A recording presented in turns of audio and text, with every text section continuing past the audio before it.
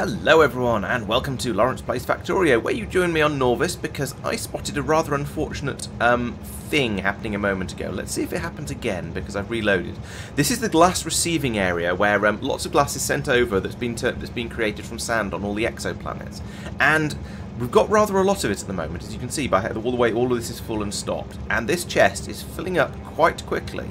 So I'm a little bit concerned that these um, that these these delivery cannon capsules are just going to keep dropping in. So I'm going to watch it for a moment and uh, and see what happens. Yeah, so at this point, as you can see, we've got 32 stacks worth of, of, glass in here, so it's getting it's getting a bit full. And the way this is supposed to work is that we subtract 1,000 from the amount in there, and there's 6.6 thousand in there at the moment. So this should be sending out a positive number, which means the delivery cannon should stop firing. But unfortunately, the way delivery cannons work, or the way we are working our delivery cannons, is that we're loading several, um, each time the number goes negative, we load in enough um, delivery cannon capsules to fill it up to fill it up completely, and so then it will keep firing. So if you've got a lot of different planets firing at the same delivery cannon chest, then you can potentially end up having a bad time. Because if each one of those gets this thing can take 40, 40 cannon capsules in. But if each gun is loaded with five of them and there's say uh, eight, and if there's if there's eight guns out there, and we're, we're starting to, we're trying to keep it above a thousand, then you can run into a position where the guns fire too many times, and that happens. And they may still be firing. Yes, like that. So this is this is problematic. We're going to need to take a look into this in the next stream. There are a couple of ways we can fix this. Um, or we can just leave it coming in because apparently we have more glass than we know what to do with anyway. Actually, there's several ways we can fix it. One would be to put in an additional storage system container over here, uh, probably a warehouse actually, given the sheer quantity we're getting, and then have that dump into there and then out onto this belt as well to get rid of to to, uh, to get rid of it. Um, and this will this will give us a bit of extra a bit of extra storage space, and therefore potentially allow the the system to run, have have all of the glass pour out, and just go into another box to keep it to keep it safe. The other and probably better way to, to, fix this would be to go out to the planets that are actually causing the problem. Like I, I, I, imagine Agnair is probably one of them because it fires a lot of sand, a lot of glass out. So you can see here we've got we've got guns along here that are firing at us firing at Nauvis orbit. We've got guns along here that are firing at Nauvis, and each time, and they are being loaded by a, uh, they're being loaded by a steady stream of glass up here, and then they're being given, um, uh, they're being given delivery cannon capsules by this inserter but only being given delivery cannon capsules by the inserter when the signal coming in is, is less than zero. So at the moment we've got a, which one is it? It's this, this pylon over here. We've got a signal of 7,000 glass coming in, so we're not going to, so the inserter isn't going to be running because that's positive. However, when it does go negative, we end up putting in several delivery cannon capsules at once, and so they're all in there and it will work through them. So probably the better way to fix it would be to go around all of the planets that are doing this and then configure this belt to only run when there's a uh, when when you get a negative signal. Now that's not quite the, the disadvantage of that is is that it means you don't end up with a stockpile of glass inside the uh, inside the cannon. Um, so when when it's ready to fire, you then have to load the cannon up before it can fire. But on the positive side, you don't get all of this destruction going on. So now we can start talking about the things I actually wanted to talk about with the, in, in this video. As you can see over here, and this is this is the stations on the bus, Tristan's continued with the with Operation Convert all the stations to, to working with a single warehouse in, in, in case that saves a little bit of UPS. So he's done these three. That's uh, I think that's steel ingots, copper plates, and uh, and coal. Those are done. But over here we've got glass and silicon and many many other things. And the problem is, uh, oh, and this this one's been done. The problem is, in order he's put in these extra additional warehouses all the way along here, and I think he's turned the stations off. So what he's doing here is he's turning off all of the stations so they will stop requesting requesting additional supplies until they drop down below an amount that will fit in one warehouse. If you look at this, you can see this this one actually this one has actually got there. This this, this one is now down to um, 11 plus 15 to 10 and 14. So there's less than 100 stacks worth here. So these could now all be dumped into this warehouse. And I thought this alarm down here was supposed to alert Tristan to the fact that that was ready. Um, Oh no, it's only doing it when he gets all the way down to zero to tell him to tell him then it's then it's time to do it. But at this point, actually, it would be better to, to put in a little bit of um, a little bit of uh, around here to, to program it up to uh, to just do like uh, like this. No, not like that. Not like that. Like that. Um, in order to in order to get the all all of the resources passed through into this warehouse. Um, and do something similar with this one down here. I'm not sure how he'd spaghetti it through, but I'm sure it could be done because that would allow him to pull the resources out of all these warehouses into this one and then have them flow out onto the onto the belts over here. And so he'd be able to switch it over without waiting for it to get completely empty and have a um, and, and, have, and have a break on on, on the supply on the belt. Uh, that's what I did on the stations I did earlier, um, and it seemed to work. And you can then and you can then swing by. So you, you have these ones dump into this into this chest and then uh, and this chest dump out onto the belts. And the system will work fine while you're doing that, because if you get distracted and forget about uh, fixing it, the train will still st still turn up. They'll unload into these warehouses, which will unload into this one, and it will carry on flowing and working. So it's, it's still a two-part job, but it doesn't. There's no risk point in the middle of it where the system is going to break if you don't if you don't fix the job up properly.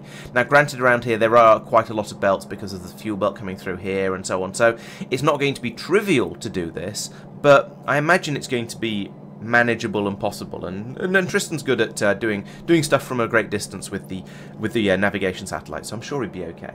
But yes, he is working on converting all of the stations in the bus area. There's another one that's been done um, over to over to the single stage, single warehouse um, system. So it, it is a gradual process, but I'm but as I say, I have every confidence that he will get there eventually. He's also, while he's been messing around here, he's been converting the stations over to run on ingots instead of, instead of um, in, instead of plates. As we've discussed before, it's far more efficient logistically to bring the, the metals as ingots from the stations where they're picked up uh, over to the over to the other stations. So you, you can transport them around as plates, but you need to send about five times as many trains. The ingots are much much denser in the amount of copper you get per train.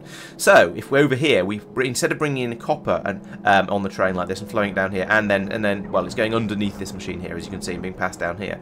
If instead he upgrades this to um, to ship copper, ship in copper ingots, like he's done here with the steel, those can then come around here, down here, and be fed into this machine, which will then chop them up into steel plates and send them out down this way. So you've still got steel plates on copper plates and iron plates on the bus, so everything will still carry on working down the bus exactly as it did before. We don't need any further changes down here. We're doing the conversion up here in one of these ludicrously fast advanced assembly machines.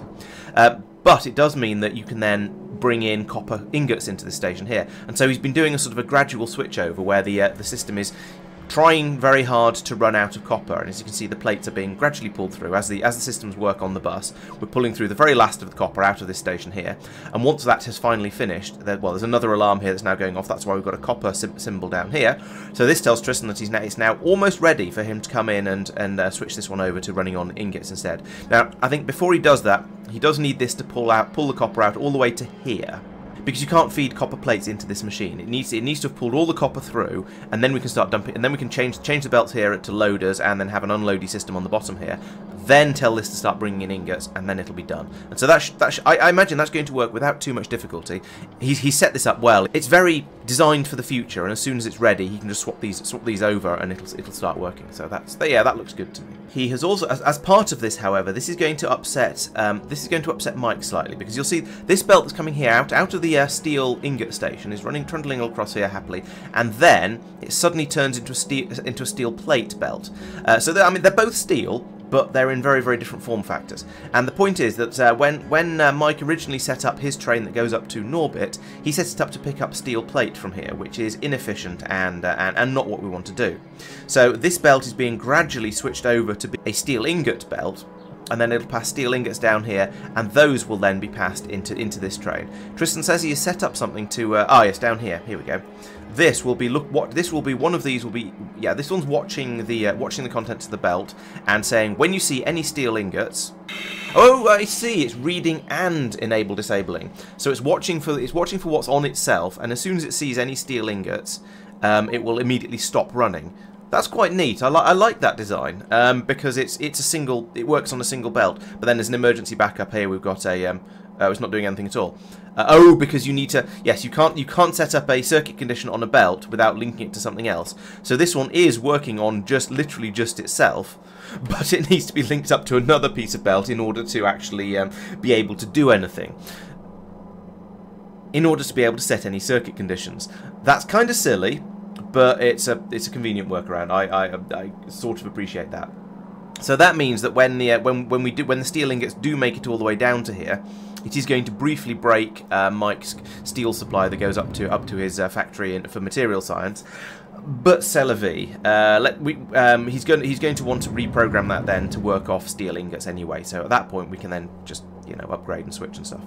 My other con slight concern is that there's going to be a load of steel plates in this underground belt, which we'll need to do something about. And we could just put in a, a load of belts across here, rip them all up again, and that will then dump it into the back into the system. And I think we've probably got something that will pull steel out of the logistics system and uh, and deal with it properly, as you'll have seen in my um, in my recent uh, how to how to use bots and logistics chests video. Ah, yes. The next big thing to look at is the red circuits, and I hinted at those yesterday, where I when I was looking at the um, at the production down here. Spoiler, spoiler alert. We'll come back to that. But making memory cards requires red circuits, and as you can see, there aren't any in here. We've, we've had we've had had a, had a big problem with those. So Tristan traced that backwards and followed it over to the massive circuitometron over here, where we're making huge quantities of green circuits and turning a lot of those into huge quantities of red circuits. And this is an amazing system. It works incredibly quickly. This was the, the you'll remember I, I talked about Marc making this a week or two ago.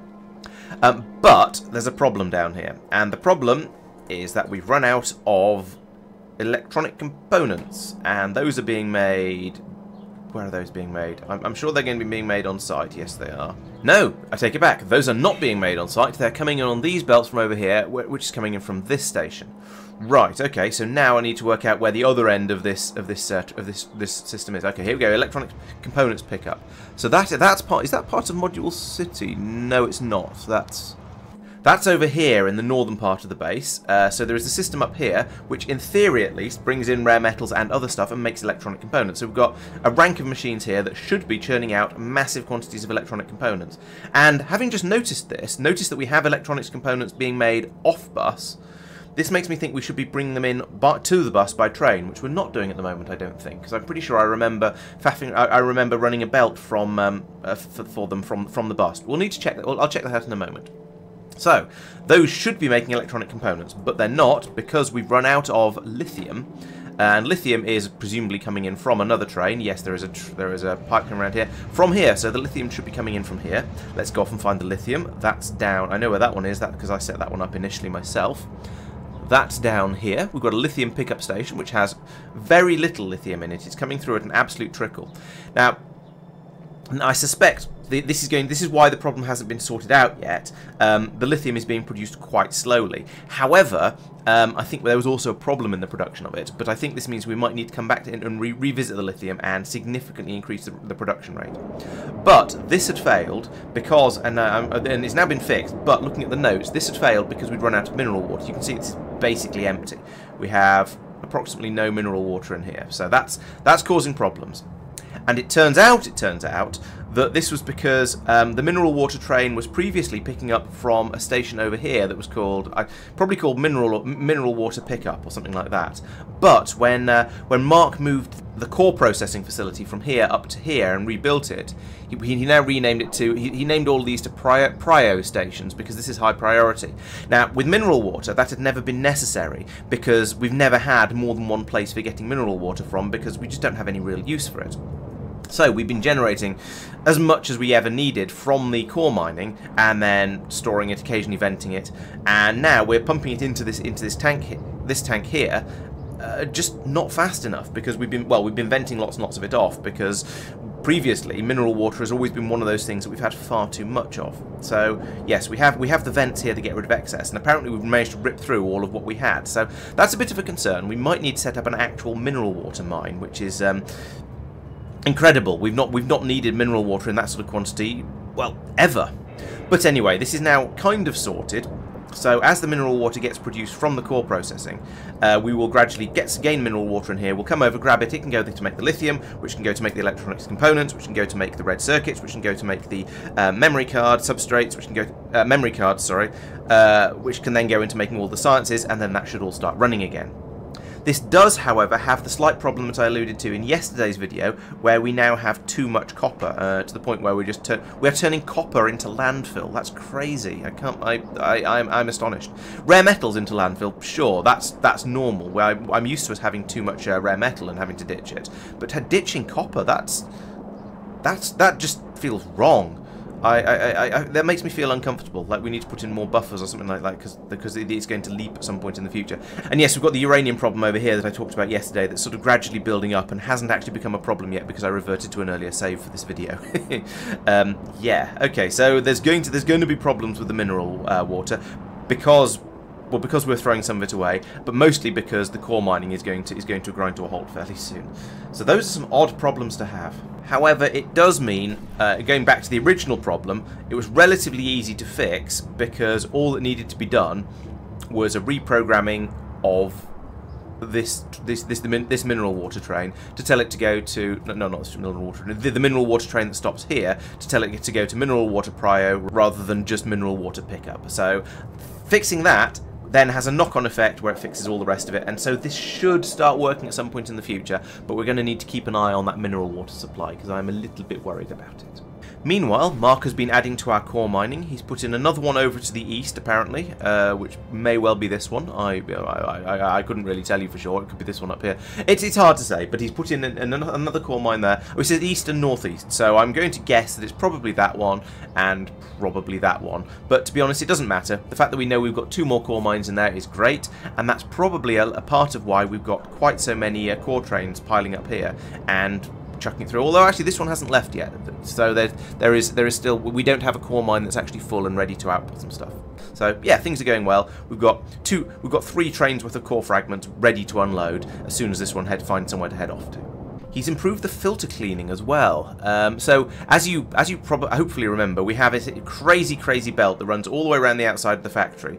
That in theory has filters on. Oh, that's the that's the old one. Uh, we have this crazy, crazy belt that runs all the way around the outside of the factory here and has um, air, air, filters on it. So these can be grabbed by the air purifiers as they need them, and then the dirty ones can be chucked out onto it because it's not a full belt, as you can clearly see. Uh, and this works brilliantly. We pass these filters all the way around. It keeps it keeps in, and it keeps everything clean. It keeps all of the pollution inside our base, which is what we want because then it doesn't upset the biters. Then the biters don't come over to try and eat our walls. That, that means we don't have to shoot them, which means we save on. Well, previously we, I'd say we saved on um, on ammunition and therefore iron and copper and eventually uranium and steel, I suppose, as well, which is sort of iron. Uh, these days, it just means we save on electricity because we use um, laser turrets everywhere now because we have, have suitable amounts of electricity. But we don't have all that many laser turrets. We would need to put in an enormous amount more if we were defending against actual proper biter attacks. Uh, as it is, we've got these things which will, which will usually manage to get rid of a um, an ex exploration party who are coming out to try and set up a new nest, but they won't. They, they, there's no way they could defend against a sort of a full-on attack that was was triggered by pollution. So yes, that means uh, Marc has, as I say, put in a, a an improvement to the, uh, the, the filter cleaning, and that's over here, presumably. Nope, that's that's that's not it. Is it you? Yes, it's yes, it's you. So we've got here. We've got okay. We've got oh, this is this is the. Uh, Oh, right. This is this is one. This is this is filters being taken off to outposts as required, but I don't think that's really required anymore and dirty ones being brought back. We've probably got a yeah. These are the ones that these are the new ones that are being made. These are the used ones that are coming back in from around the base, or the ones that have gone all the way around and haven't been needed. And then we're feeding them back out again, and they go onto the uh, onto the system here. And for this is interesting. Um, that belt I looked at earlier had clean filters on both sides of it, whereas this one just has them on one side. Maybe that's maybe that's something has gone a bit strange. Maybe there's um, yeah, I don't know. Maybe it's just part of the building process has, has, has, weirded things a little bit. But anyway, yes, the clean and dirty ones will come back into here. The clean ones will be sent back out again. And the dirty ones get passed through here, where they are being cleaned up by these machines. So the upgrade that's happened here is that um, Marcus, I think he's moved the system over a bit. He's also upgraded it to advanced assembly machines and um, and put in a, a, a, a, wide area beacon here to make everything run incredibly quickly. So as you can see, we've now we're now able to rip through all of these dirty filters. In fact, it looks like maybe three of two, two maybe three of these machines are actually running. We don't we don't need all of this at all, but you know we call it future proofing pumping clean water in here, dirty water comes out here, goes through the filter filtration systems, gets cleaned up, and we get small amounts of ore out like this, and then passed up back up again as clean water. And as usual, we've got a, we've got a pump here that will um, will pump additional clean water in if there's less than 25,000 in this tank. So it basically it keeps this tank at 25,000. The water gets pumped around, around, around. It's recycled. It's slightly lossy, which is why we need to add a little bit more in. But basically, you can just keep using the same water again and again. this belt of, um, of filters is, is probably getting quite ridiculous now because it comes all the way along here to here where it's... oh no no then it goes up here round here. What goes on here? Oh, okay. Yep, it goes up to up to the uh, up to the core miner because you need to have filtration. You need to have air cleaning by core miners because they're very dirty because they're miners. Then it comes back down here, round all the way up here. Jeez, probably round this mine as well. Yep, goes up and round this mine. Then across here, up up here. It'll go round this this core miner as well, over here. Basically, it goes all the way around the outside, all the way around the outside of the base. There was a bit here where it originally came through the middle. I think this is probably now deprecated. If we find the other end of this belt, yeah, I don't know where this is deprecated from, but it is certainly deprecated. Uh, okay, that originally came from all the way down here. So previous. Uh, Okay, right. Yes, previously there was another belt that went off from here, went round through all of these purifiers. Hopefully he's going to tidy all this up at some point. But now he's, he's, he looks like he's just started a completely new one that comes all the way over here. Then, as I say, goes round here, round here, round here. Um, I don't even know where I got to. I think it was probably somewhere over here. Uh, we're still pulling in the um, the yeah the dirty filters that are coming up this belt are still being are still being dropped off onto the onto the new belt. this is ridiculous. onto the yeah, onto the new belt here. So we're, we're passing yeah, with the dirty filters that are coming through from the old old filtration system are still being passed through because we want to do something with them. Goodness knows what's going on with this belt coming through here. Uh, oh oh, this is an this is an outpost system, right? So we had an outpost up here that was bringing in bringing in filters by train, passing them around in a loop here, and then picking them up with the train again, and that's sort of just going round and round underneath this underneath this one. That's really weird. I feel like we should just link the two together somehow. Um, maybe, maybe Marc will do that next in, in a future in a future video, but that's that's weird. Uh, anyway, yes, those are which which belt was I following? Yes, this one. They're then coming around here. We seem to have, we do seem to have a full belt here, which is a little bit unfortunate, but uh, it'll it'll sort itself out. That, I mean, I'm sure this is probably just just full because because of the building process, and if we follow it back far enough, then we'll find an area where it's um where where there's gaps on it, probably. Actually, uh, will we? I'm not. I'm not sure. Yes, we will, because he's, he's, he's, he's, using a piece of yellow belt here to make sure this belt is only 50% full, so that's great. Um, anyway, I was following a, a, a, ridiculous, ridiculously long belt. Got, we got to here, and then it comes all the way across here, round the edge of the base, round the, round the free power. There's another mine there that needs to be kept clean. So there is also... Um, is there any outposting going on here? Uh, no, there doesn't seem to be a filter outpost here. So the belt goes round that, down here, around the edge of this lake, down round round here, all, all down here, and okay, it doesn't go over to over here. So we've got we've got presumably some separate. Yeah, we've got a separate um, filtration area around that one and around this one. I'm honestly surprised that this belt he, he, that he didn't make the belt go. Oh, he has. I was going to say I'm surprised he hasn't made it go around everything. He, ha he has. He split it off to go around over here as well. Uh, down here past this mine. Oh, this bit's still under construction, possibly because there aren't uh, robots over there. He's not gone over to these mines. I'm both surprised but also slightly relieved in a in a weird way. Uh, round down down here, down through the middle through the middle of the base. That seems odd it, that it didn't come down here. Maybe maybe this is a work in progress. But eventually, yeah, it'll come down through the middle of the so down here down here around the edge of edge of most of the stuff that we're doing. Oh, that's a thought. That means that my factory my um, aeroscaffolding area, area over here is not being cleaned up after. Is, is not being cleaned up after. He's not doing any mining, so it's not too filthy. But assembly machines do still release a certain amount of um, a certain amount of pollution. So actually, yeah, that's that's that's that's my bad. I should have. I need to tap into the um, into the into the filter belt probably here, and then run it down, maybe down the middle of this railway, and then across here, and then link it back in over here. So maybe that's something that I, or maybe, maybe I'll uh, maybe I'll let Marc do that because he enjoys making really, really, really long belts. um, but anyway, yes, it comes comes back round here. I'm going to try and hurry up a bit. There's a bit of pollution being generated down here. I'm not quite sure what from because it seems weird that um, that uh, splitters would produce pollution. Uh, maybe it's maybe it's coming from the trains and just drifting a little bit. I'm not sure. Um, but yeah, the belt then makes its way all the way around over through here somewhere. I think it probably is going to then loop down through this area. Oh, no, no, I take it back. It comes, gets down onto the bottom of here somewhere. Ah, yes, here it comes. It comes down here on the edge of the pollution cloud. That makes sense. Uh, over here, and then comes back all the way up round here to join back into where it, where it originally came out. So you can see the belt, belt going out there, coming back in here, and then feeding back into the into the system over here. Wow, that was that was a lot. I'll um, I think I'll go back and put in a message and a timestamp or a um, a chapter thing on here, just in case anyone doesn't want to watch me scrolling around all of that, because that was rather a lot. Um, yeah, so there is. So yes, he's, he's, uh, so that is is, is good, um, but it, as I say, it need, needs a bit of expansion. But that this bit over here is very much my fault. Uh, this bit over here is very much unexpected. But perhaps if we just yeah, we could if we bring it down, if we bring the filter belt down the railway lines here, then go across at the bottom of here, and probably under uh, probably across here and underneath all of this bit and then maybe maybe round round over here to get and to join on onto here. That'd be quite nice. And we can then add in a, we can then remove this this this outpost station over here and have it just feed straight onto the main belt with everything else. The amusing thing about this is that we have we've now come up with the, the concept of a mark belt, and even Marc is describing it as that. So this this is apparently now a mark belt is a is a belt where it's where you put in a ludicrously long belt that sort of tests the limit of sanity, where a, a, a normal person, in very heavy inverted commas there, because um, we're not, I don't think any of us are tr truly normal about this, but where, where, where someone like me would probably put in a railway system, uh, this is where Marc would come in and just use belts for the entire thing. So out on Big Rid, you can see we've got we've got core miner over here that is then carrying all the stuff in. Well, actually, no, we've got we've got core miners up here up here that's running all of, running all the core fragments in by a belt that comes all the way down here to get to the core processing down here.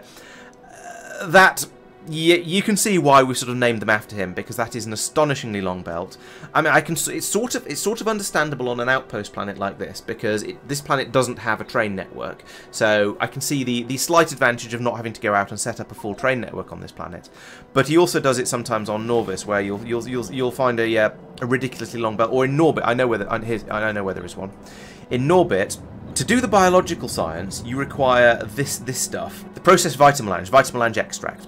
And he's bringing that in with rocket by rocket, which is a little bit naughty in the first place. But to be honest, to be fair, at this point we didn't have a great deal of choice because we don't have spaceships, and and you can't send this stuff around by delivery cannon. So it's a choice between either shipping the um, the Vitamelange Spice, or sort of Vitamelange Roast, whichever one it is. Uh, oh, this one. No, not that one. Over the other one, anyway, the previous one to it, over by delivery cannon and then processing it in space, or shipping it over by rocket. And he, he went for the rocket one, and I, I I can't really, I can't really blame him for that. I, I, think the amount of it you get through, I think that's probably a sensible thing because it can be uh, productivity module at the other end.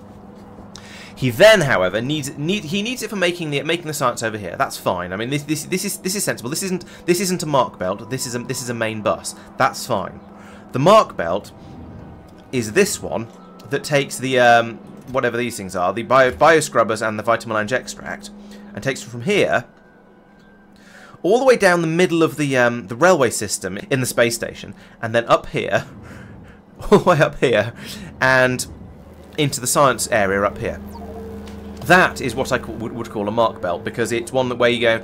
I mean, come on, mate. We, we, we've got a train system up here. this is just this is just ridiculous. oh dear. I'm sure in the future we'll we'll sort something out with this and, and it'll be a little bit more sensible. But at the moment, this is that that's quite that's quite a lot. we do have another we have another belt running along here. This this one is carrying batteries for trains, and and this one feels a bit more sensible because it does actually branch out into every single area along here. It's I mean we could we could have a trains bringing out the batteries for the trains in a sort of slightly recursive way, but in this case I think the belt kind of makes sense. But this one is just yeah, you, you can see why we've named the concept after him. And this conveniently brings me up to uh, Nauvis, which is where I'm going to talk about the uh, the next thing that Marc has been doing. And this is the thing I was saying with spoilers earlier. So down here, he has redesigned my uh, memory card production facility, uh, essentially to bring it up to fully fully speed module, fully beaconed. It's now going to be running much, much faster with far fewer machines. Great. Um, so because memory cards have always been a bit of a bit of a problem for us. Sometimes we just about have enough, but it's always sort of it's always trying to sort of just scrape it along and try and just desperately keep enough of them available. Um, so this facility is going to be able to is going to be capable of making far more of them. I think it produces a complete belt on the output. The problem is on the input side, we have, or we had, previously, we had one belt coming out bringing the substrates, one belt coming out bringing the uh, bringing the red circuits. They were coming down these two belts in the middle here. Um, and going going in here and being being made into the into the in, into the uh, into the memory cards. And so the limiting factor was those two belts, and to be honest, also the fact the rate we're bringing the uh, stuff up by rocket. So because we're now going to be bringing it up by train, hopefully get a bit more throughput going, a bit more of everything. He's built up this much larger system, and since I went in and pointed out that actually we didn't have remotely enough throughput because he was going to still be limited by the belts, he's now come in and he's put in some extra belts. So this is now going to work very nicely. There's a belt that's the wrong way around there. Um, that should be like that. Um, but in, in order to do that, he's had to move a few of these machines across a little bit, but that's that's not difficult. The uh, the way they're built, there's plenty of room over here. I think it's just a case of pick, you pick up the machine on the right and put another machine in on the left, and then don't power it because there aren't enough pylons in there. So there's a couple a couple of minor problems in there, but to be honest, we have enough thermofluid now. Thermofluid is one of those things where you need an enormous quantity of it early on when you're trying to fill up the buffers. So you're going, oh my god, so much thermofluid grip production, I can't I can't keep up. How are we going to keep up with this? And then you fill the buffers up, and then it's well, everything goes to sleep because all the buffers are full, and it mostly gets recycled so it's fine. The memory cards are a little bit like that as well, except they get we do eat up a lot more of those each time we expand. But if we just if we just sat there doing a level of research, we would find that most of the memory cards would come back. We'd probably get I don't know, I'm going, I'm going to take a wild stab in the dark and guess it's 75-80%, something like that, of the memory cards come back and get recycled. So you, you need, yes, you need to re replace the 25% that get used up, either whether they're destroyed or they become part of the science pack and then get eaten by the, uh, by the uh, labs. But some of them, at least, will uh, will a lot of them will come round back, round again. The problem is when you make a new type of science, suddenly you need about 8,000 memory cards to go in and fill up the buffer in the warehouse of the new with the new catalogs and then you need, and then you'll have another buffer at the other end, which is perhaps another 8,000 uh, um, uh, memory cards in, in, in the form of catalogs. So suddenly you need about 16,000 of them each time you make a new type of science, and that that that's where the problem comes from, and that's why you, every so often you just go, oh no, we don't have any memory cards, and we look in here and then we see there's only 1700 in each one of these boxes, and that's because of the red circuit problem I mentioned earlier. So once we get red circuits flowing nicely again, this system is going to run really, really quickly, and we're going to have an, we're going to have an embarrassment of memory cards. We're going to have so many we won't know what to do with them all. Um, however, I suspect that's going to be uh, behind quite a lot more more expansion in the future, just to get everything running properly. I did mention as I was when I was talking about this this production system up here that it's, it's been made better because we now have a train delivering stuff instead of a rocket. So yes, the rocket has, has, been removed from here. I think I talked about this yesterday actually. I don't know why it's on my list twice. But yeah, we now have we have probably because I was talking about the space elevator. We will now have a train that comes in here and drops off all the all the all the stuff that's needed up here. We are going to need to add in extra extra fluid trains to bring up the stuff that's currently being brought up in barrels. But we've got a we've got a good supply of heavy oil. The petroleum gas can be made from the heavy oil if we're desperate over here, um, and the lube well, we we, we don't seem to have run out of lube yet. So we're, we're, we're basically okay with all these resources, I think. Um, we, will we'll need to take a bit of a look at this, but we can swap all, we can we can swap over all these stations to be fluid stations to bring up the well the the the, uh, the light oil, the heavy oil, and, and the lube. We'll we'll check exactly what we need. Uh, and unload these here, pipe them around, etc., etc. Because we're not going to need these anymore because we, we're not producing the metals and, and, and so forth, and we're just shipping and we're shipping all the ore because we're shipping all the ores down to Nauvis. Finally, up in Norbit, uh, I've I, I, came over here and I noticed that we were very very short of um, production science. You, uh, that's utility, that's production. Pretty sure that's the right way around. Um, and it turned out that we were we were very very short of plasma for it. So I put in more plasma machines up here. So I'm generating the plasma a lot faster. I talked about this last week, but now now have I've actually done it. So put in a lot more machines to make the plasma faster, and I've speed moduled them all to make them make lots and lots more plasma. So that is now full. These have now stopped because we've run out of iron ingots. I don't know why we've run out of iron ingots. I think things are a bit broken down on the other end. But since we're switching over to the, the, the new, better train-based system rather than the rocket system, I think I would like to upgrade. I would like to fix it for the train system rather than fixing it for the rocket system and then fixing it again for the train system. Just, you know, I don't want to double handle it. I'd, like, I'd, I'd rather make the fix once rather than, rather than do it twice. So at the moment, not too worried about it, but it is going to, at some point, going to cause problems with our research. Um, it did. It has worked quite nicely now. We, we, though, when we do have all of the ingredients available, this should be more. This should be more than fast enough to keep up. To be honest, I think the one machine would have been fast enough to keep up. It was it was the plasma that was the the real problem there. And interestingly, that is a thing that uses lithium. So this is going to be another lithium sink on the on our on our system. Next up, over here on Snowdrop, uh, we see that Tristan has done some expansion and improvement of the um, of, of, the uh, cryonite production systems. So, uh, as well as fixing up the minor things that I talked about yesterday and getting all of these these machines down here working, he's also dealt with the, the iron problem that was coming through here, linking, basically linked up all of the uh, delivery cannons, including one right down at the bottom here that's getting rid of any spare uh, core fragments. Now, hopefully, we won't be using this system for enormously longer because we're going to be switching over to spaceships rather than delivery cannons, as as, as we've discussed.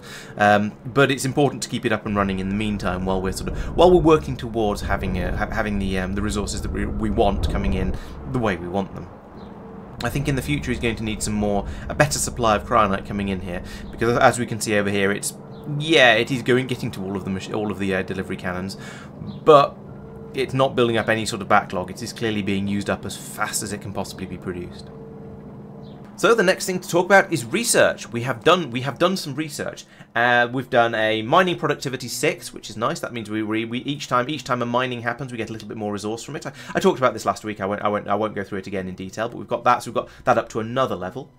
We did Astro 3 science packs, which is this one up here.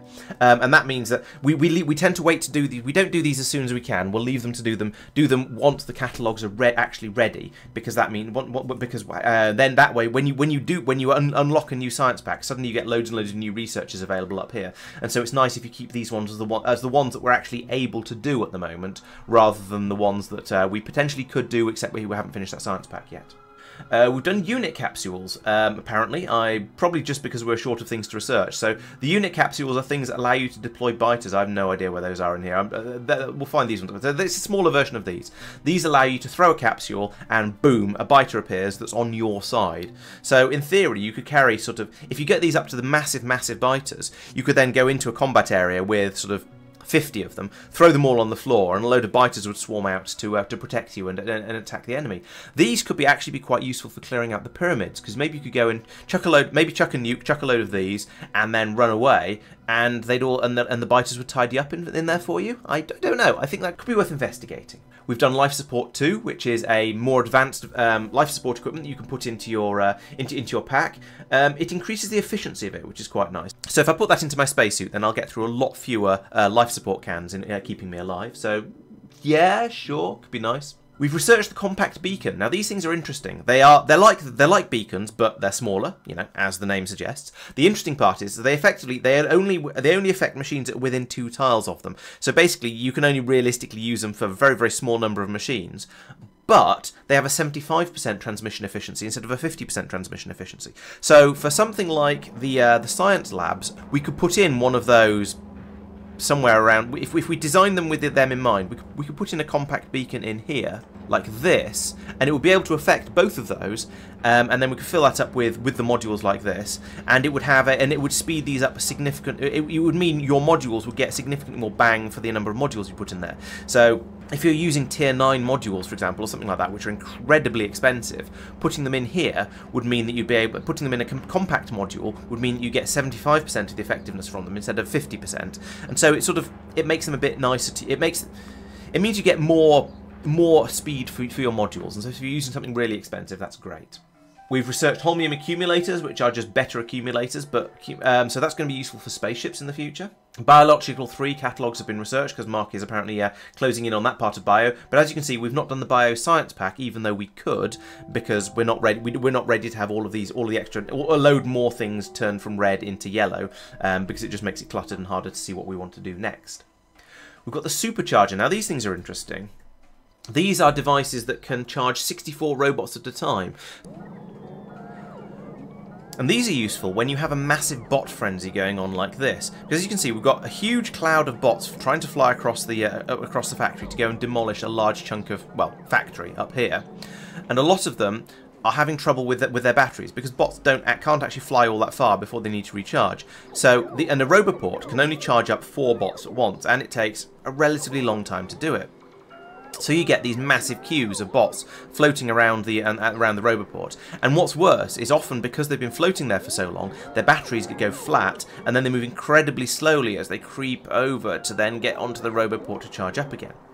If you've got a supercharger, then you can charge 64 bots at a time at high speed. So you'll be able to rip through all of these bots that are sitting there waiting to charge and just get them get them charged up and ready to head off very very quickly. So if we stick a few of if we scatter a few of these on the sort of the major bot corridors throughout the uh, throughout the factory, both on on the ground and probably up in space as well, then it can it can mean the bots will just be so much more mobile because they'll be able to charge up more quickly. We've researched the construction pylon, Essentially, it's a system that allows you to connect out your um, your Roboport network and your power network over long distances very, very quickly and easily. Um, and it says it also has a 64 by 64 construction area. So yeah, you can you can extend out your your Roboport coverage area very, very quickly. Now these can't charge up robots, so that if you combine these and the supercharger, you get quite a lot of what the Roboport can do. So you've got these ones providing the um, providing okay, they provide power, but they also provide construction area coverage. The supercharger will charge up the robots, and but then you still need the roboports for them to live in. But you can have, but for sort of sending them out over long distances and, and to, to spread them out, spread out your roboport over a wide area, you can use these together, and, and that'll allow you to, uh, and that allows you to quickly expand your roboport network.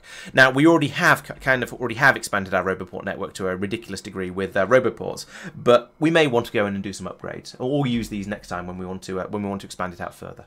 We've researched the portable RTG2, so this is another generator that you, you can put into your um, into your armor to produce power, and this is the Mark II version of it. So this produces 1.2 megawatts, whereas the previous one, the one that we're presumably all using at the moment, produces 800 kilowatts. So it's 50% better. It's an extra, it's an extra chunk of power for uh, for it to go to go in your armor. Um, and at the moment, at the moment, yeah. Oh, oh, no, actually, at the moment, I'm using small portable generators. That's ridiculous. So these ones, these ones actually burn fuel. I should, and they only produce 200 kilowatts each. I should get rid of. I should upgrade to a better thruster suit. I should upgrade some. I should get rid of the portable generators and put in an RTG. That'd be much nicer. Um, but at the moment, the RTGs are quite big. They're sort of they're at four by four, so it would take up all of this space. So that's probably why I haven't yet. But I think hopefully there's better thruster suits available as well. In fact, yes, the very next thing on the list is thruster suit 2. So down here, we've gone gone from thruster suit 1, which has a equipment grid of 6x6 and no resistances, almost no resistances at all. Thruster suit 2, which has a grid of 8x8. So that would give me that bit of extra space. So I think I would, at this point, I would be able to sensibly upgrade to the RTG2. Um, and it still doesn't seem to give you any armor, so it's, it's, it's not one for going into combat with. But then, I think I already knew that. We've got personal battery too as well, so that's going to allow you to store a bit more power in your in your suit equipment a bit more easily. But if you've got the RTG2, you might not you might not even need it because the uh, amount of power that stuff is going to use, your, your your generator might be able to keep up with it. We'll see. But maybe actually no, if you're going in, if you're going into combat with lots of personal defense lasers, then you might need to have um, need to have some battery because your your power usage is going to spike a lot more. So you run into a biter area, it'll spike the power usage will spike up while you kill everything, and then it'll drop back down again so you can recharge the batteries. We've researched Energy Shield too, so this is another thing you can put in your armor. So you get 250 points of armor there, and it uh, and it recharges at 100 per second. That's, well, that's that's quite impressive. I think that would be that would be very worth having if you're going in and doing any combat. Although, as far as I remember, I think these aren't very compatible with jetpacks. So I think if you if you use it, as I have a feeling, and I'd need to check this to be sure, but I have a feeling that if you use a jetpack, then it damages your your uh, your shield. However, if you use the ablative armor, uh, let's see if we can find that these ones, adaptive armor, sorry, not ablative, then these ones, um, they, they, they, they use less power, they regenerate more slowly, and I think they don't clash with uh, jetpacks. I could be completely wrong about the jetpack thing, we'll, we'll find out later. We've researched aero bulkheads, these are an intermediate, they go into making lots of the spaceship stuff. And speaking of spaceships, we have researched spaceships. Yeah! It's been a long time coming, but we now finally have spaceships. This is why I've been pushing for Astro 3 quite so hard for for, well for, for quite a long time and just not really getting there for all kinds of reasons. But we've now got spaceships, and, the, and spaceships are amazing. So we're going to be using these in the next few episodes. What we, once we're going to be trying to put together a system for building them, and then we'll start start using them a lot more heavily. We've noticed that, or Tristan's noticed that we can also do spaceship integrity 1, 2, 3, 4, and, and apparently 5, although that's not queued up. Uh, and we've, we haven't got those we, we, and we thought we might as well just queue those up straight away. And, and, and, the spaceship, because we've got all the different science packs they require. So this one, for example, requires Material 1, which Mike did ages ago. This one requires Material 2, which Mike did ages ago. This one requires Material 3, which Mike did a little while ago. This one requires Material 3 and Energy 1, that Tristan did ages ago. So as you can see, we've got we've got all the science packs that we need to do all of these. And this one, oh, this one is Energy 2. So we've got all the science packs we need to get the, get our... Um, our spaceship integrity up by another, uh, so it's from probably at 100 at the moment, it's 200, 300, 400, probably up to about 500, 600, which is going to make making our first spaceships much easier because we'll be able to make them quite a lot bigger almost immediately and not have to worry about the stress, stresses and strains and size and all that sort of thing. So, this, so having having all of these done basically immediately and certainly before we were really going to start building spaceships is going to be so useful. The next thing that's been done has been the biological 2 upgrades. That's these ones across here that gets you things like agility, which makes you makes you run faster, constitution, which gives you more health, dexterity, which allows you to mine things quicker, intelligence, which allows research to run faster, and strength, which allows you to carry more. So these are all very, very useful. Uh, we grabbed those because they, these are all based on Bio 2. And so since we've got Bio 2, while we're waiting for the Astro 3 to be finished, I think we'd whack those ones through very, very quickly just because they, they're great ones to have.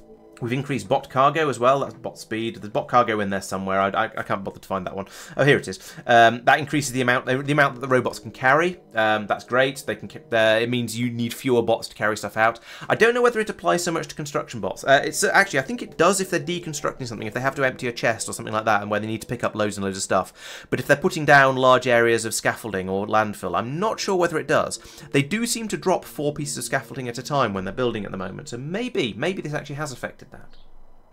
Uh, we've got braking force 6 on the train, so the trains now slow down a little bit more quickly, which is great. I mean, it means they, it means the trains can go faster for longer, and they can start braking when they're closer to the stations, which in theory increases throughput, and most importantly means they're not, there's less chance of the trains braking when they're still on the main line, slowing down another train that's trying to come through that way as well.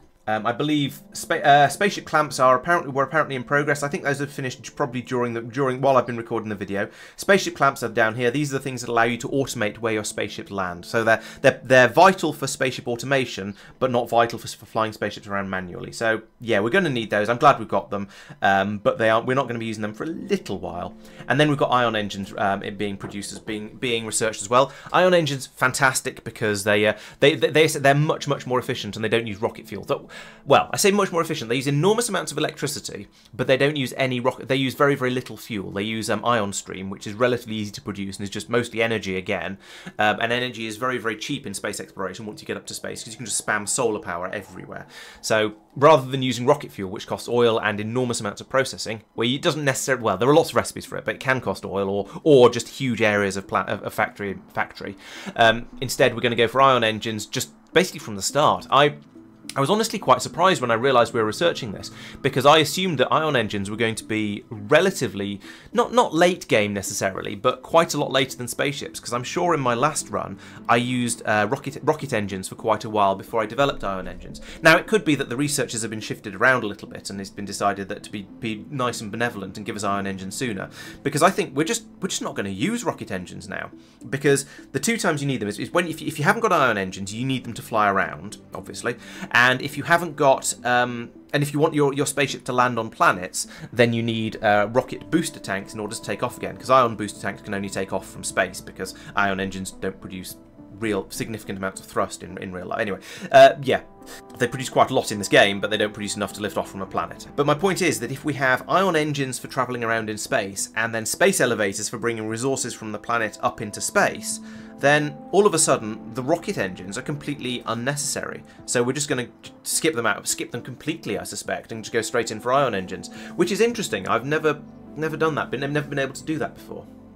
And so that's the that's the research. Finally, the last thing to talk about here is the is the number of deaths we had during the stream, and of course because uh, because we've been carrying on with stuff up in space, nobody died this time. We, we, we've not been we've not been trying to expand factories into into the factory into the biter areas, and apparently nobody's been clumsy enough to run out of life support or anything like that. So we've had no deaths. However, um, Mike has um, wasn't wasn't in, in the stream because um, he was off busy having a baby, or at least um, being involved with a baby being had.